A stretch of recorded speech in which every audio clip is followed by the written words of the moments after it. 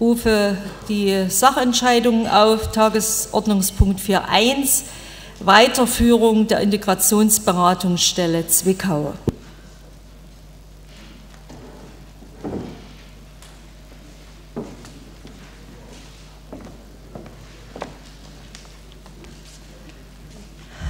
Meine sehr verehrten Damen und Herren Stadträte, im Landkreis gibt es sieben Integrationsberatungsstellen, die alle auch gefördert werden vom Freistaat, wo es Verträge gibt zwischen dem Landkreis und den jeweiligen äh, Betreibern dieser Integrationsberatungsstelle. In unserem Sozialraum ist es die Stadt selbst und der Raum betrifft auch nur die Stadt und die Beratungsstelle, die in der Hauptstraße eingerichtet worden ist, arbeitet auch sehr erfolgreich.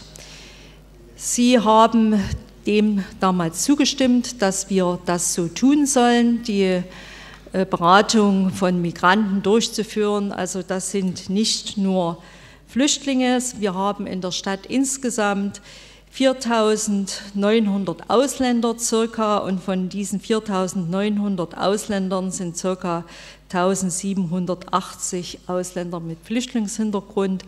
Also die Beratungsstelle arbeitet vielfältig äh, beim Thema Integration von ausländischen Bürgern, sowohl EU-Bürgern und auch anderen Staaten. Die Beschlussvorlage heute hat eigentlich einen wichtigen Grund. Und das will ich hier nochmal auch ganz explizit sagen, weil das so in dieser Form in der Begründung nicht steht. Wir haben das im Hauptausschuss sehr ausführlich diskutiert und ich will das hier nochmal sagen.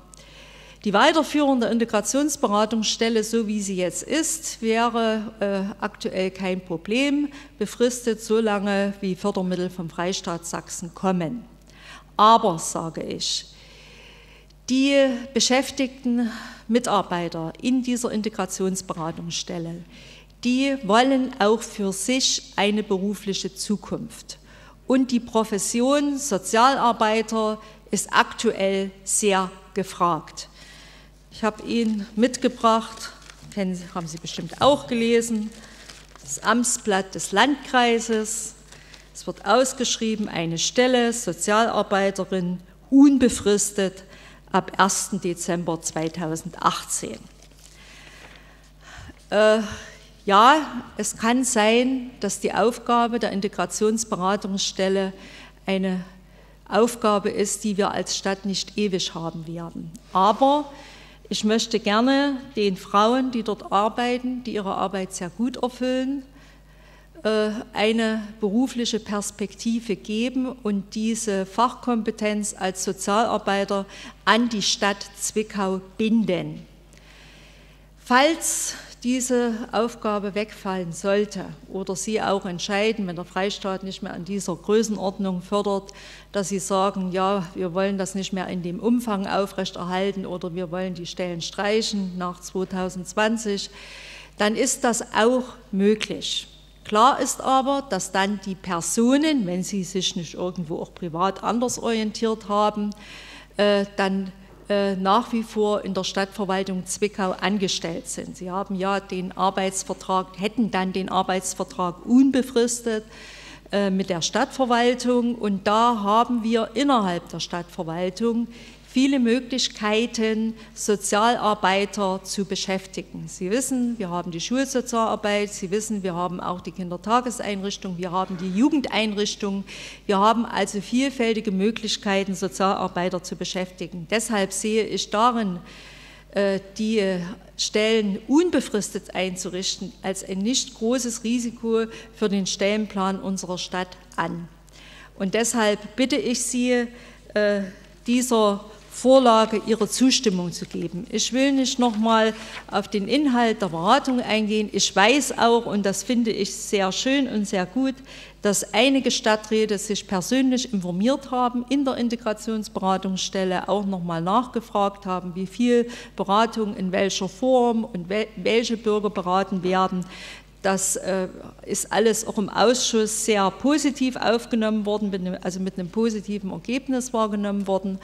Aber es geht eigentlich hier mit der Vorlage darum, dass die Mitarbeiter in der Stadtverwaltung eine Perspektive erhalten und uns nicht verlassen, weil der Landkreis die Perspektive bietet. Vielen Dank.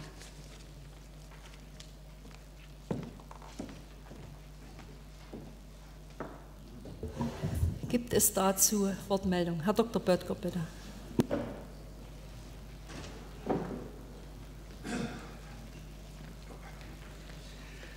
Frau Oberbürgermeisterin, sehr geehrte Damen und Herren, heute Vormittag zwischen 9 und 10 war ich unangemeldet in dieser Beratungsstelle.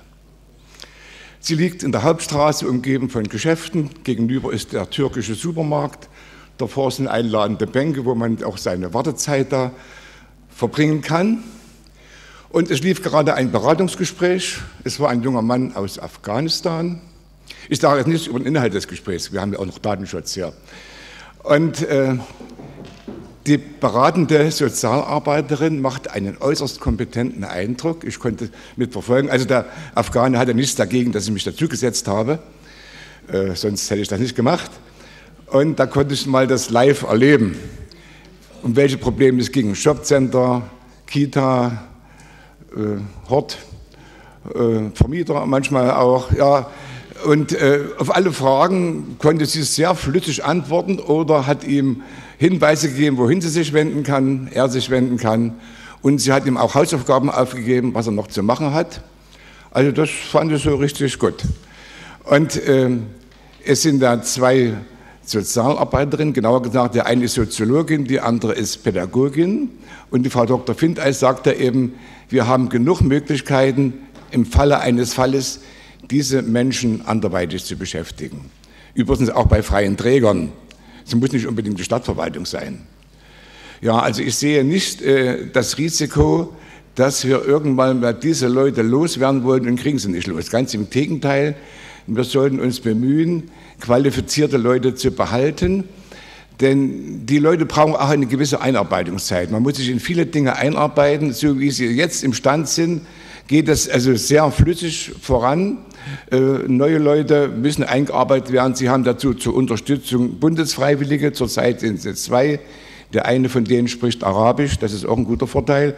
Braucht man aber meistens nicht, weil das mit Deutsch und Englisch alles sehr gut geht. Ja, ich plädiere also für die Fortführung dieser Integrationsberatungsstelle und möchte Sie um Zustimmung bitten. Danke. Gibt es weitere Wortmeldungen? Herr Wolf.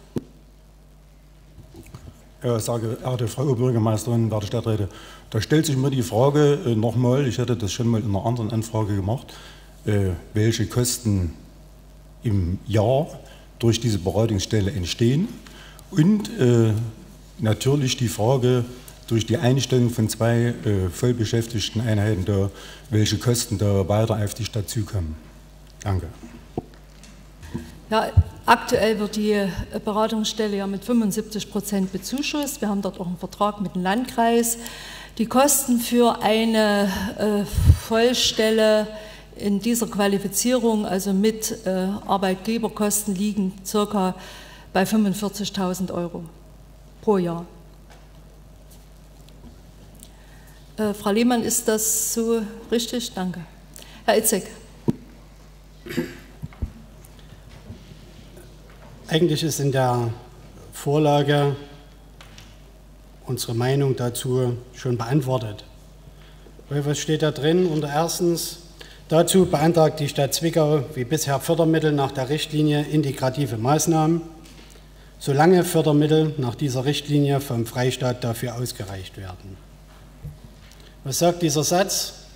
Der Freistaat, sprich das höchste Organ, was wir hier in Sachsen haben, und die Gremien, die dort vorhanden sind, haben eine Fördermittelrichtlinie für eine Dauer X erlassen und dafür ist sie gedacht. Uns erschließt sich jetzt nicht, warum dann, wenn wie der Herr Böttger das gerade sagte, am freien Markt man, wenn es um die Mitarbeiter gehen würde, diese unterbringen könnte, dort einen Vorgriff vorweg auf unseren Haushalt nehmen sollte. Wir wissen nicht, wie lange es diese Fördermittel gibt. Und wenn dann mal Änderungen anstehen seitens des Freistaates, kann man immer noch handeln. Wir erachten die Vorlage heute als zu verfrüht, weil noch gar nicht absehbar ist, dass die Menschen dort nicht in Lohn und Brot sind. Und wenn es nur darum ginge, Leute einzustellen, dann können wir natürlich an allen Orten Personalaufwächse in unseren Haushalt aufnehmen. Aber ich möchte zu bedenken geben, auch das, was in den Ausschüssen in letzter Zeit gesagt wurde, dass wir uns in den kommenden Jahren, insbesondere in 2019 und 2020, auf weniger Einnahmen, zum Beispiel bei der Gewerbesteuer, einstellen müssen. Und mir fehlt dann dazu immer wieder die Antwort, was müssen wir denn dann, wenn wir den Lohnhaushalt anwachsen lassen, an investiven Maßnahmen, die vielleicht sogar schon geplant sind oder eingestellt sind, streichen oder was können wir dann nicht durchführen. Die Fraktion der AfD Zwickau wird der Vorlage nicht zustimmen. Danke. Frau Brückner. Ja, ich möchte bloß noch mal betonen, was die Frau Dr. Findeis ja angesprochen hat. Es geht auch um Sicherung der Fachkräfte, gerade in dem Bereich, in dem Sozialbereich. Der Dr. Luther wird mir recht geben, wir waren zu einer Beratung, äh, zwar vom Landkreis, aber welche Bedarfe es eigentlich gibt, wo wir die Fachkräfte überhaupt nicht absichern können. Und wenn man Sozialpädagogen hat, die gute Arbeit leisten, die viel Erfahrung haben, dann sollten wir als Stadt tunlichst etwas unternehmen, um uns die für die Zukunft zu sichern. Wir haben jetzt in Umsetzung mit Schulsozialarbeit können wir nicht mal alle absichern, weil die Fachkräfte nicht da sind. Das heißt, ich muss dort in der Qualifizierung schon runtergehen, um die Leute irgendwo, um das umzusetzen, was der Freistaat mal angedacht hat. Und wir werden doch als Stadt Zwickau äh, sind gut beraten, wenn wir langfristig uns gute Leute sichern. Und letzter Punkt, Förderprogramme haben immer eine zeitliche Endung. Danke. Herr Itzek, nur zur Richtigstellung, die wir haben einen Arbeitsvertrag mit der Stadt Zwickau. Es ist also nicht so, dass die neu angestellt haben, weil Sie gesagt haben, dass die neu eingestellt werden. Die haben einen Arbeitsvertrag. Ne? Gut. Ich sehe keine weitere Wortmeldung. Herr Binder, bitte. Ja, ich bin wahrscheinlich in meiner Fraktion wieder der Exote oder Integrationsminister in den letzten Tagen. Also ich werbe natürlich auch sehr für diesen Beschluss. Ähm, ich glaube, gerade in der Integrationspolitik äh, ist in Deutschland viel im Argen. Auf jeder Seite, ich finde das mit den Abschiebungen unmöglich, das müsste schneller gehen, das ist aber nicht unser Thema hier. Da sind sehr, sehr viele Versäumnisse. Viele Bürger verstehen nicht, warum das nicht schneller geht, warum nicht Gefährder schneller ausgewiesen werden. Auf der anderen Seite haben auch wir eine Verpflichtung, äh, Flüchtlinge, die hier sind, äh, den Leuten zu helfen. Ich weiß, jetzt kommt die Thematik wieder freiwillige Leistungen und Haushalt. Ich glaube, es ist für uns alle eine Verpflichtung, den Leuten, die hier sind, die legal hier sind, dass wir denen helfen. Wir haben im Haupt- und Verwaltungsausschuss ähm, einen sehr guten Vortrag von der Frau Lehmann dazu gehört die auch die zwei Mitarbeiter sehr gelobt hat. Ähm, ich glaube, Sozialarbeit ist sowieso nicht messbar in irgendwelchen Geldbeträgen, sondern da kommt es auf Ermessensentscheidungen, auf Empfindungen an, äh, wie gut sind die Leute. Hier haben wir also ein großes Lob für die zwei Sozialarbeiter. Ich glaube, jeder von uns, der in einem fremden Land ist, äh, egal ob er jetzt in Urlaub ist oder wenn er so wie Flüchtlinge hier sind, der ist, glaube ich, dankbar, wenn er Hilfe bekommt, äh, wenn er Unterstützung bekommt. Hier geht es ja um existenzielle Probleme. Das sind für uns Banalitäten. Für viele Ausländer, die herkommen, ist es äh, sehr, sehr schwierig äh, von der Sprache her, von, von den Verfahren, wie wir das handeln. Von daher finde ich es ganz, ganz toll, dass es so Integrationsstellen gibt. Ich bin der Stadt Zwickau auch da sehr, sehr dankbar, dass wir diese Stelle haben. Wir sollen die auch unbedingt weiter behalten. Ich sehe auch diesen Beschluss Weiterführung der Integrationsberatungsstellen auch im Zusammenhang äh, mit unserem Antrag Sicherheit und Ordnung, der im Laufe des Tages heute noch kommt. Das ist für mich eine komplexe Einheit, der irgendwo stimmig äh, ist und aus diesem Grunde, ich weiß die Thematik freiwillige Leistung, kann ich nur an alle appellieren, dass wir diesen Beschluss akzeptieren und unterstützen. Ich bin da hundertprozentig auf Seite von der Frau Dr. Findeis. Danke. Herr Dr. Schick. Für mich mal noch eine inhaltliche Nachfrage von der Sache her. Punkt 1, äh, was jetzt nicht ganz rauskam, auch wenn die eine Festanstellung kriegen, bleibt die Förderung weiter bestehen, gehe ich davon aus. Und dann die andere Frage, Herr Binder sprach jetzt von helfen, der Herr Böttcher hat gesagt, er kann über die Inhalte der Gespräche nicht sagen, er hat Beispiele genannt, was beraten wird. Das ist aber immer ein, ein ich kriege das immer so mit, ein Geben. Wir bieten was an, wir sagen, was zusteht, was, was man sich besorgen kann, wo man reinkommen kann. Die Bevölkerung draußen hat aber in der Wahrnehmung jetzt eine andere. Deshalb meine Frage, ist das auch Aufgabe dieser Beratungsstelle, denen, die dort zur Beratung kommen, auch mitzuteilen, was wir als Gegenleistung erwarten? Verständnis für unsere Kultur, Verständnis für unsere Lebensweise, Verständnis für den Umgang bei uns, weil einige scheinen es ja nicht zu wissen, wie es geht. Wird das mitgebracht oder ist das nur eine einseitige Geschichte, die Beratungsstelle? Da hätte ich mal gerne Auskunft dazu. Ganz klare Auskunft, ja, auch das wird gemacht. Und in diesem Sinne sehe ich das auch, was der Herr Binder vorher gesagt hat, das ist auch ein Teil des Komplexes des Antrages, den die Fraktionen dann noch bringen, also dass unser Zusammenleben in den vielfältigen Kulturen, die die Anzahl der äh, ausländischen Bürger habe ich ja benannt, das sind nicht nur Flüchtlinge, die Zahlen habe ich ja benannt, dass dort auch mitgeteilt wird, welche Wertevorstellungen bei uns existieren. Dann werden auch oder sind ja bekannt die Wertevorstellungen auch in anderen Religionen und Ländern. Und da wird auch dazu gesprochen und beraten.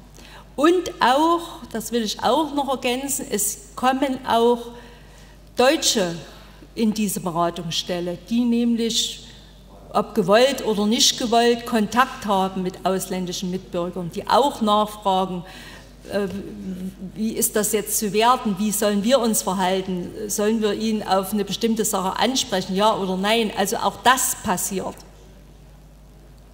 Herr Drechsel. Ja, sehr geehrte Frau Oberbürgermeisterin, werte Stadtratsmitglieder. Nur jetzt mal für mich. Also ich habe die Vorlage bis zu den Ausführungen von Herrn Binder eigentlich nicht als Vorlage gesehen, dass wir hier über Integrationsfragen diskutieren müssen, ob wir die nun gut finden oder nicht und dass die ordentlich umgesetzt werden. Und ich glaube auch, dass das hier nicht Ansinnen war, sondern ich sehe das eher als einen technischen Vorgang für unseren Haushalt und für unsere Stellenplanung in Zukunft. Und deshalb sage ich, wir müssen sehr wohl überlegen, ob wir, was wir mit unseren Personalkosten machen. Wenn ich mich noch erinnere, wo wir vor zehn Jahren mit Personalkosten waren, wo wir jetzt sind, äh, sind das Größenordnungen, äh, die einen schon einen trockenen Mund machen können. Und ich finde es deshalb auch für legitim, darüber mal reden zu dürfen und das auch zu benennen. Weil das, wenn wir das hier tun, auch wirklich ein gewisses Gewicht hat im technischen Vorgang jetzt. Wir sagen ja ganz klar, okay, wir stocken hier auf. Für mich ist bis jetzt noch nicht klar, warum wir das jetzt unbedingt tun müssen. Äh, denn äh, normal läuft es ja über, die, über den Haushalt und über unseren Stellenplan. Da hätte man das dann auch später noch abbilden müssen. Wenn ich darauf mal noch eine Antwort bekommen könnte, äh, wäre ich dankbar. Danke. Also Herr Drechsel, äh, ich, ich denke, ich hatte es im Ausschuss auch klar erläutert äh, und ich habe es auch heute gesagt. Also wenn wir den Frauen keine Perspektive geben, die sich dort eingearbeitet haben, die gut sind, ja, Herr Itzek, die auch auf dem Markt eine Chance haben, aber das wollen wir gerade nicht. Wir wollen sie an uns binden, weil das gute Leute sind. Und äh, wenn ich den Stellenplan jetzt unbefristet aufstocke, also wenn ich mit den Mitarbeitern einen unbefristeten Arbeitsvertrag abschließe, dann muss ich das im Stellenplan darstellen.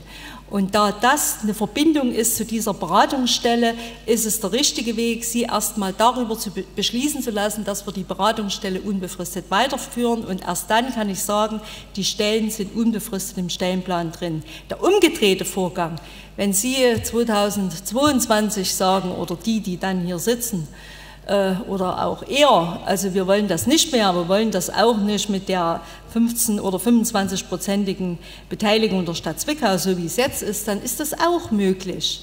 Dann werden die Stellen im Stellenplan wieder gestrichen, aber die Personen sind natürlich da und das ist die Ehrlichkeit, die ich jetzt Ihnen, Ihnen gegenüber bringen muss, die äh, Haushaltswahrheit und Klarheit verlangt. Die Personen sind dann da, weil die einen unbefristeten Arbeitsvertrag haben. Aber ich sage Ihnen auch, wir haben im Stellenplan äh, das wissen die Mitglieder des Hauptenverwaltungsausschusses, es ist nicht immer so, dass jeder Mitarbeiter der Stadtverwaltung, der einen unbefristeten Arbeitsvertrag hat, auch eine Stelle hat. Äh, es gibt immer eine Anzahl von Mitarbeitern, die ohne Stelle arbeiten. Das ist bei ca. 1300 Beschäftigten sind das, wir haben es jetzt, glaube ich, sind es 30 Personen, also es ist gar nicht so viel.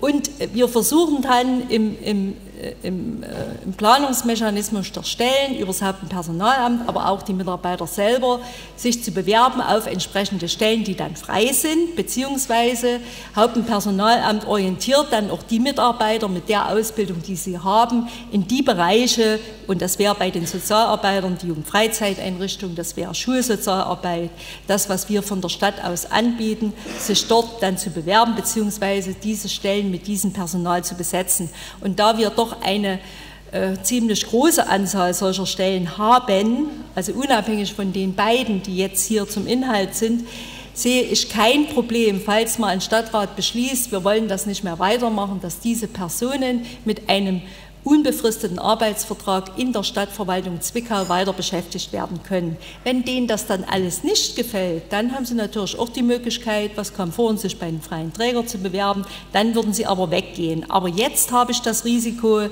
dass äh, man sich bewirbt, weil diese Profession zurzeit sehr gefragt ist.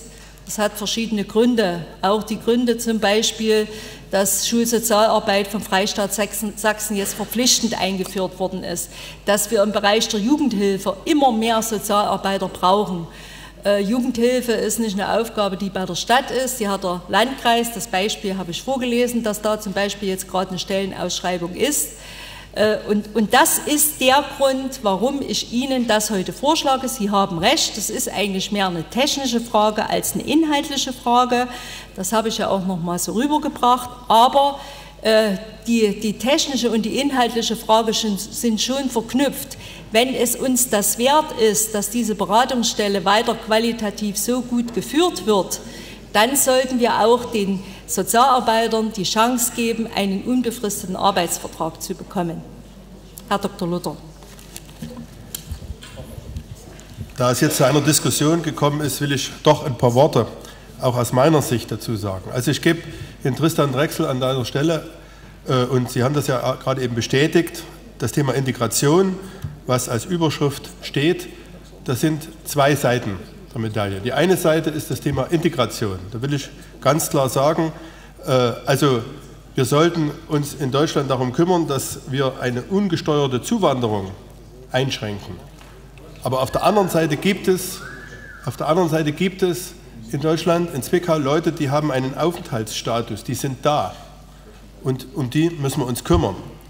Und das geht nun mal nur über das Thema Integration, Integrationsberatung und ist, glaube ich, auch ganz deutlich ein Teil eines Sicherheitskonzeptes, was wir haben müssen.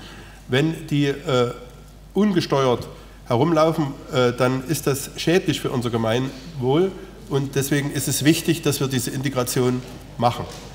So, das ist das eine Thema. Deswegen sage ich auch, äh, das ist ganz klar so zu formulieren. Auf der anderen Seite, und das ist bei uns in der Fraktion diskutiert worden, ist das eben dieser technische Vorgang. Wie verhält man sich richtig? Äh, es gibt hier Stellen, die äh, praktisch über den Landkreis gefördert sind, die immer durch das Förderprogramm und, den Freistaat gefördert sind, äh, befristet gefördert sind. Kann man das so laufen lassen oder was passiert? Frau Brückner hat es ja eben angesprochen, wir waren bei einer gemeinsamen Beratung beim Kreis Jugendring gewesen, die uns die Situation der Sozialarbeiter dargestellt haben. Es ist eben so, dass durch die Schulsozialarbeit jetzt die Situation ist, dass es plötzlich wesentlich mehr Stellen gibt als Leute. Und die Leute, die Schulsozialarbeiter, die, die Sozialarbeiter können sich aussuchen, was sie machen. Und es ist eben zu beobachten, dass sie dann in sicherere Stellen gehen, als wie sie sie möglicherweise momentan haben. Und aus diesem Grunde gebe ich Ihnen an dieser Stelle recht, dass es dann schon sinnvoll ist zu überlegen, ob man das nicht in unbefristete übernimmt. Aber ich will, das ist meine Meinung, äh, ich will sagen, dass es bei uns in der Fraktion dadurch äh, dazu eine unterschiedliche Meinungslage gibt und dann möglicherweise es auch zu einer unterschiedlichen Abstimmung kommen kann. Herr Itzek. Ich wollte nur noch mal ganz kurz zur Klarstellung. Frau Oberbürgermeisterin, Sie sprachen mich vor uns an wegen der freien Träger. Ich hatte nur wiederholt, was der Dr. Böttcher sagte. Dem Herrn Binder habe ich entnommen, dass es gesellschaftliche Aufgabe ist, die ich teile, dass wir uns als Stadt Zwickau auch mit Beträgen an Geld beteiligen.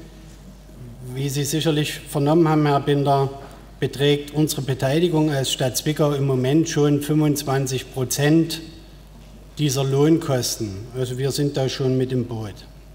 Aber jetzt vielleicht noch mal kurz zum Verständnis, was vor gar nicht so langer Zeit den Leuten erzählt wurde.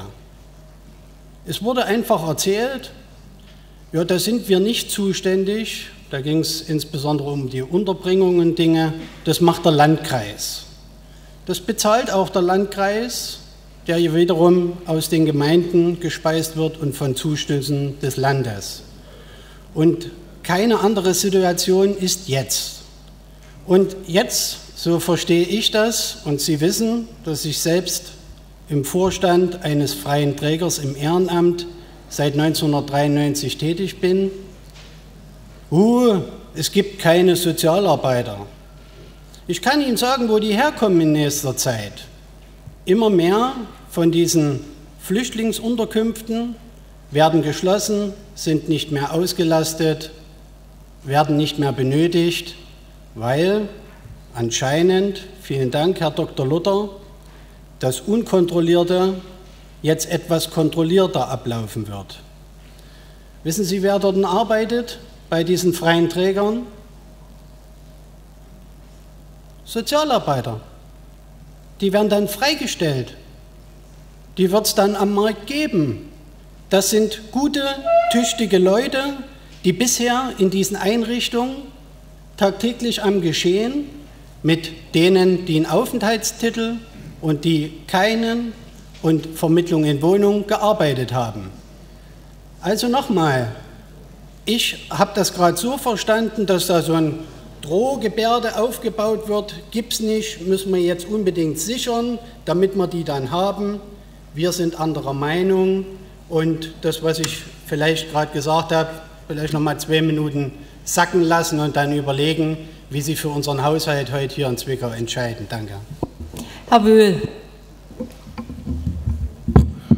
Frau Oberbürgermeisterin, meine Damen und Herren, an der bundespolitischen Diskussion will ich mich jetzt ja nicht beschäftigen oder nicht, nicht beteiligen. Ich denke, wir sind uns hier im Rat einig, dass wir die freiwillige Aufgabe der Integration wahrnehmen wollen. Das ist ja auch Inhalt des dann noch folgenden gemeinsamen Antrags. Ich will nur noch mal darauf hinweisen, auf dasselbe, was ich schon damals im Frühjahr zu der Diskussion mit den Verbeamtungen gesagt habe. Wir als Kommune stehen in Konkurrenz mit den anderen Großstädten, ob das Chemnitz ist, ob das Plauen ist oder auch ob das der Landkreis ist. Und wenn wir es nicht schaffen, unsere guten Arbeitskräfte hier in der Stadt zu halten, dann kriegen wir ein massives Problem. Und deswegen kann ich nur noch mal dafür werben, dass wir diesen Beschluss, so wie er jetzt vorliegt, beschließen. Herr Donner. Ich möchte noch einmal den Herrn Itzek äh, konkret widersprechen. Es ist nicht so, dass hier eine Drohkulisse aufgebaut wird. Es ist ganz einfach Tatsache. Wir haben aktuell die Situation, dass sowohl der Landkreis als auch die Stadt Schulsozialarbeiter sucht und nicht findet. Es ist also nicht so, dass wir hier irgendwas herbeireden, es ist schon Tatsache. Und das ist auch der Grund, warum ich meine Meinung ursprünglich geändert habe. Ich war auch erst der Auffassung, wir müssen unseren Haushalt konsolidieren und müssen versuchen, Stellen abzubauen. Aber das sind Fachkräfte, die wir aktuell dringend brauchen. Der Bedarf ist momentan bei weitem nicht gedeckt. Es sieht auch nicht so aus, als würde er in absehbarer Zeit gedeckt. Und deswegen ist es wichtig, dass wir sie halten.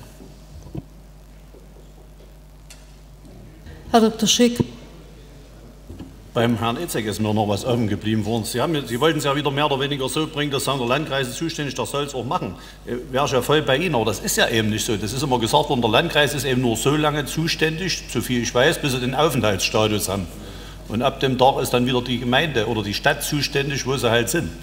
Das ist ja das Problem. Dr. Luther hat es ja gesagt, dann haben wir eine ganze Reihe, die sind da und die werden auch hier bleiben. Und damit muss aber so schnell wie möglich dafür gesorgt werden, dass sie sich integrieren. Und deshalb habe ich ja extra vor uns nochmal gefragt, ist die Beratung nur einseitig, was nicht zusteht, oder wird denen auch gesagt, was wir von ihnen erwarten? Und wenn das dort Gegenstand der Beratung ist, ist es ja gar nicht so schlecht, dass an der Stelle auch mal gesagt wird, als Gegenleistung habt ihr euch bitte schön auch in dem Kulturkreis mal zu integrieren. Nicht wir müssen ständig auf die Rücksicht nehmen, sondern die müssen auch mal auf uns Rücksicht nehmen, damit wieder mal Ruhe einzieht draußen. Also nochmal noch mal, äh, auch zur Richtigstellung, in dieser Beratungsstelle arbeitet auch eine Mitarbeiterin, die beim Landkreis angestellt ist. Das ist die Integrationskoordinatorin. Ja? Und äh,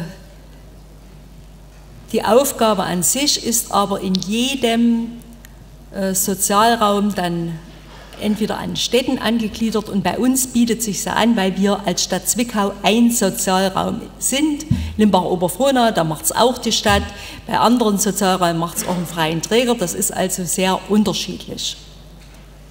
Und die Zahl nochmal, ich habe es vorhin genannt, ca. 4.900 Ausländer insgesamt in der Stadt und davon ca. 1.780 Ausländer mit Flüchtlingshintergrund sagt auch nochmal, also es sind auch EU-Ausländer, die hier beraten werden. Das sind ausländische Studenten, die hier beraten werden. Denn bei, an der Hochschule werden sie nur beraten zum Thema Studium und nicht zum Thema Leben in einer Stadt hier, in einer Stadtgesellschaft. Und da stehen Auffragen, auch die werden beraten dort. Herr Itzek. Herr, Herr Dr. Schick, wir sind doch d'accord mit dem, was dort geleistet werden soll. Aber wir brauchen ja nicht darüber zu debattieren, ob in die eine Richtung vermittelt wird oder in welche auch immer für Dinge, die uns normal vorkommen, auf der anderen Seite vielleicht nicht so. Aber wir reden bitte um das Bart des Kaisers, aber immer wenn man spricht, kommen auch neue Dinge raus. Die Frau Oberbürgermeisterin sagte gerade, es gibt verschiedene Sozialräume. Das wissen wir auch aus dem Kreisrat heraus. Ähm, ja, in anderen machen das freie Träger. Und das ist doch hier der Punkt, über den wir gerade sprechen. Es könnte auch ein freier Träger tun, mit denselbigen Zuschüssen, wie sie jetzt gerade da sind. Dann müssen wir sie aber nicht in unseren Stellenplan in der Stadt Zwickau integrieren.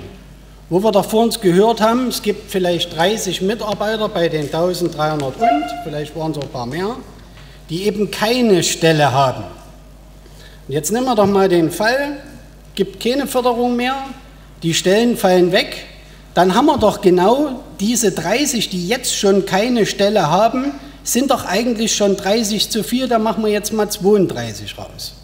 Egal wo wir sie dann verwenden, wird sie schon finden. Laut Dr. Böttger können wir sie ja dann an freien Träger abgeben. Aber das ist mit dem Antrag nicht gewollt. Die sind angestellt. Befristet. Befristet. Die sind befristet angestellt aus einem Grund. Wir würden all die in der Landesregierung, die diese Programme auflegen, Lügen strafen. Warum machen die denn das dann nicht unbefristet und sagen, ja, da kriegt er von uns dauerhaft das Geld für die Zeiträume? Da sind doch Gründe dahinter, es ist doch ganz einfach. Aber wenn natürlich die Mehrheit des Rates Stellenaufwachs will in der Verwaltung, dann soll es so geschehen. Wir wollen es nicht. Herr Wöhl. Herr Alzeg, noch mal ganz kurz. Es geht einfach nur darum, wenn wir diese Stellen nicht entfristen, dann sind diese Arbeitskräfte weg. Punkt. Also, äh, ich bitte jetzt kein, und kein die, und das ist Herr Itzig, Sie haben, nicht das, Sie haben nicht das Wort. Ich denke, die, die verschiedenen Meinungen sind noch ausgetauscht. Es ist auch klar, um was es hier geht. Äh, ich will das auch jetzt nicht nochmal richtigstellen oder kommentieren oder sonst was. Herr Itzek, Sie haben das Wort. Dankeschön, Frau Oberbürgermeisterin. Und genau das sagte ich vorhin Vielen Dank, Herr Wöhl. Und das ist genau die Drohkulisse, Drohkulisse, die aufgebaut wird. Wenn wir die jetzt nicht unbefristet einstellen, sind sie weg. Gibt es weitere Wortmeldungen? Herr Binder. Punkt 1, ich finde es bei dem Antrag ein bisschen schade, dass man über technische Fragen spricht, wo es doch um Menschen geht. Ähm, und das Zweite ist, Herr Itzek, im HVA ist darüber ganz ausführlich gesprochen worden. Und, und die Frau Lehmann hat ganz nachvollziehbar dargelegt, warum und wieso das notwendig ist. Eine Fraktion war nicht vertreten im HVA.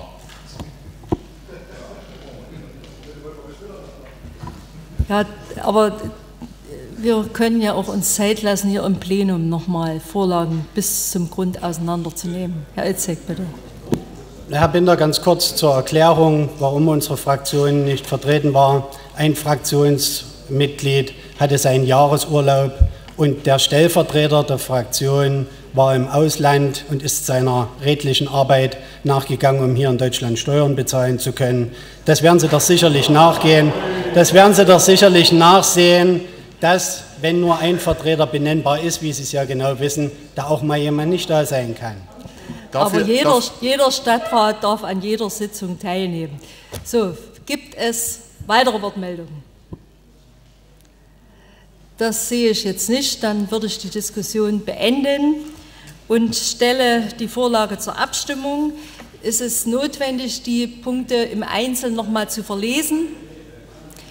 Dann stelle ich die Drucksachennummer 167 aus 2018 zur Abstimmung mit den Beschlusspunkten 1, 2 und 3. Wer dem die Zustimmung gibt, den bitte ich um Sandzeichen. Danke. Gegenstimmen? Danke. Enthaltungen? Bei einigen Gegenstimmen und Enthaltungen ist die Vorlage so angenommen. Danke. Tagesordnungspunkt 4.2 Vorhabensbeschluss Neubau Feuerwerk.